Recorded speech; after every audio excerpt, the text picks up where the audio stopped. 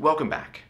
We're about to start Unit 4, and one of the things we're going to cover is the surprising power you can get from just writing down something you've already computed and referring back to it later.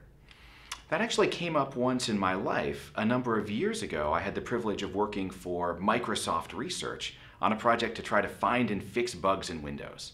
Now, most of you are probably watching from a moon base in the not too distant future, but in the present and in the past, bugs in Windows were a big deal. In fact, it would often crash and lead to the dreaded blue screen of death.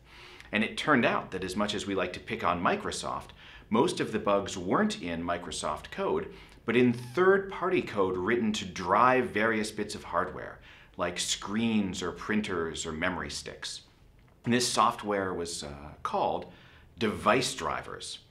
And it might work something like this memory stick that I have right here.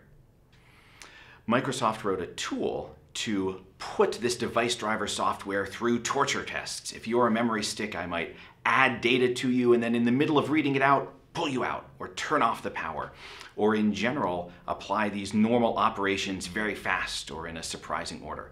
And this really worked. They found a lot of bugs. So many bugs that it's now a shipping product, the Microsoft Static Driver Verifier.